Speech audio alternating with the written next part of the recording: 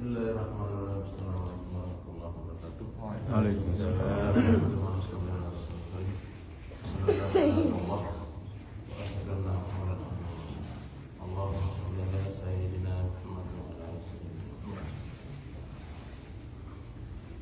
Alhamdulillah.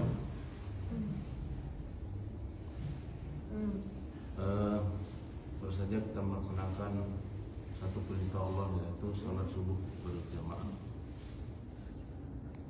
Jadi bukan dikenakan kita kuat dapat sehat apalagi musim dingin ya. Ini pengorbanannya luar sekali, luar biasa sekali. Tapi adalah undangan daripada Allah, Hah? pilihan daripada Allah. Kita dapat datang ke masjid untuk melaksanakan satu perintah Allah yaitu sholat subuh di mana azan dikumandangkan insyaallah. Eh, kalau dikatakan kita kuat sehat mungkin keluarga A teman-teman kita sana luar lebih sehat daripada kita lagi lebih sempat lagi apalagi ini hari Ahad hari libur hari libur insyaallah. Selawat serta salam atas junjungan Nabi Muhammad SAW. Itu sebelum kita nanti seperti biasanya program setelah subuh hari ini yang dipimpin oleh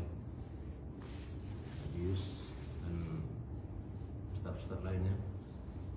Alangkah baiknya kita dengar satu hadis dari Fadilah Amal tentang pentingnya sholat berjemaah akan dibacakan oleh saudara kita Usman. ya.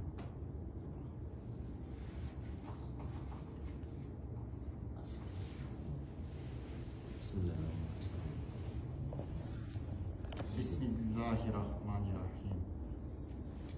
Assalamualaikum warahmatullahi wabarakatuh. Waalaikumsalam warahmatullahi wabarakatuh. ディアラ・アンフは彼が預言者サッララーライヒ・ワッサッラムから聞いたとして伝えている。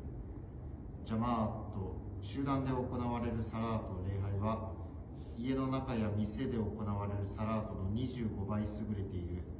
それはなぜかというと人がウドゥ清めを正しいやり方でしてただサラートを行う目的のみでマスジド礼拝堂へ向かって歩いていくと彼の歩